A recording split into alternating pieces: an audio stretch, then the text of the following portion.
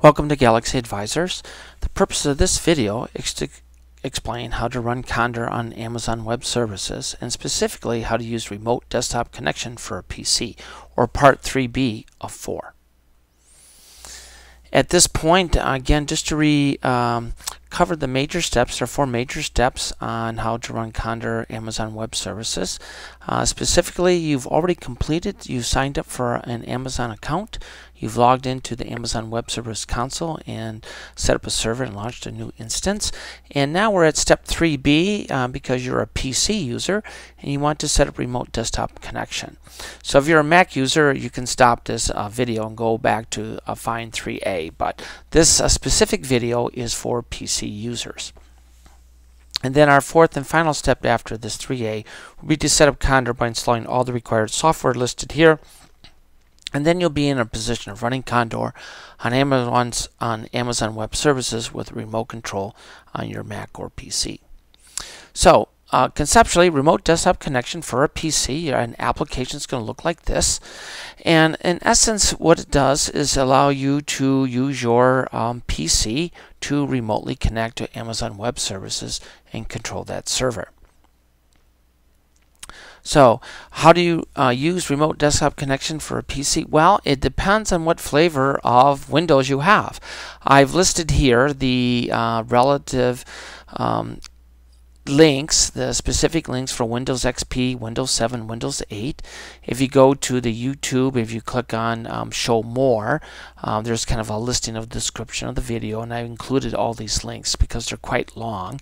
And although you could just pause here and type it in, but um, I suggest that you just pause the video and go Show Me and copy the link and paste it in for your particular uh, version of uh, Windows. And note, um, I've also tested, at least on XP, and my colleague Peter Gloor on Windows 7, uh, that it runs on Parallels or VMware. So you can actually, if you're on a Mac uh, and you're running Parallels or VMware, um, this does work on your Windows side of your computer. Now I'm going to explain uh, Windows XP as the example here. Again, um, see the specific instructions for Windows 7 or Windows um, 8. So if you're on Windows XP, um, click the Start button, then um, click All Programs, and then find Accessories. So you're kind of going from the bottom up here. And then once Accessories opens, so a drop-down box will open up, and at the very bottom, you should see Remote Desktop Connection. And that's the um, application you want to click.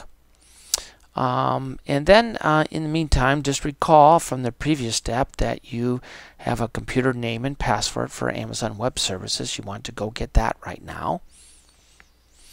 And um, copy and paste that um, computer name, which is a kind of a very long name, into um, the box here for computer. And then simply click connect.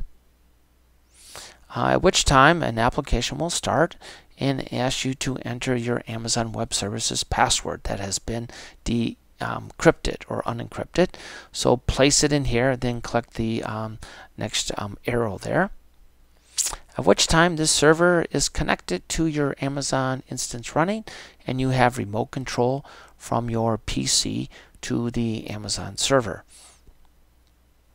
To uh, close it, uh, notice in the traditional upper right uh, corner, uh, just click the X and a window will open asking you to disconnect the terminal search session. So that's really it for how, if you're a PC users, to set up remote desktop connection. Again, if you're on Windows 7 or Windows 8, I suggest um, you go um, look at the detailed instructions, which are very similar of Windows XP. Our fourth and final step is going to be set up a Condor by installing all the required software, which is in the fourth and final video. At which point, after you complete that, we're almost one lap to go. You'll be able to run Condor on Amazon Web Services with remote control from your Mac or your PC. Again, welcome to Galaxy Advisors.